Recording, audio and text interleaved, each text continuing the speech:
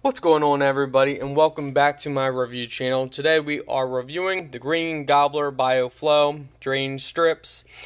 Just drop one strip into the drain each month. Eliminates and prevents odors, keeps drains free flowing, guaranteed. Drains, sinks, and tubs. So, we're going to go ahead and uh, put them down. See how well they work. So for that, we're going to have to review this in a couple months. But you guys can at least see the product. And if you want, pause the video right now. You can read the back of it. There will be a link in my video description where you guys can get this. But let's go ahead and put some around. Alright, so we're going to put one down our shower drainage system here. And because it's pretty big, we're going to snap it in half. And now we're just going to stick it down in there.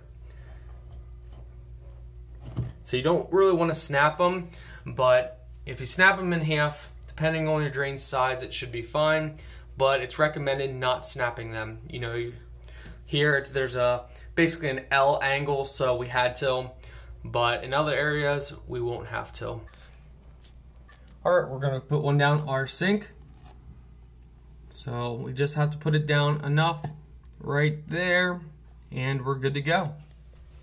All right, so now we're gonna go over to our other dish sink here. So we're gonna go ahead and put one down here. Good, right in there. Just push it down a little bit so it's now down in there. Let's clear out this other side here.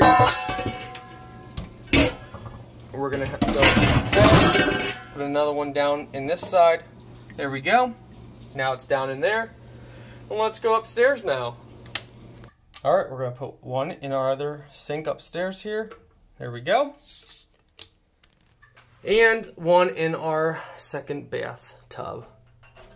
So this one, we're gonna have to push it down in here because it's old cast iron. Pipes are a little different. So there we go. It's nice in there. And that's it.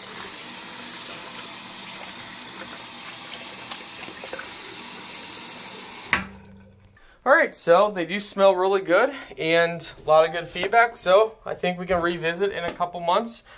But uh, yeah, I'm very happy. They smell good. I think they'll do a good job. Check out the link in my video description.